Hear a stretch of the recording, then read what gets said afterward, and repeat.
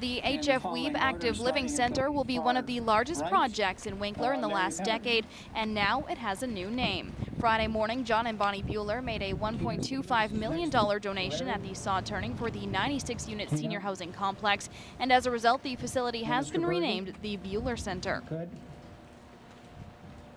Mayor Harder. Carolyn Ryan.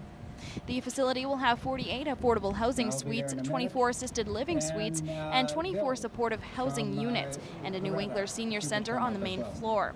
An estimated cost of the project is last but $28 not million least, dollars John and will be constructed where the senior center currently is located at the corner of 6th Street and South Railway Avenue. Presentations were made by federal, provincial, and local dignitaries, including the Honorable Candice Bergen and Winkler Mayor Martin Harder. Look right here. Everyone look right here. Big smiles. Everyone look right here. Everyone look right here. Right here.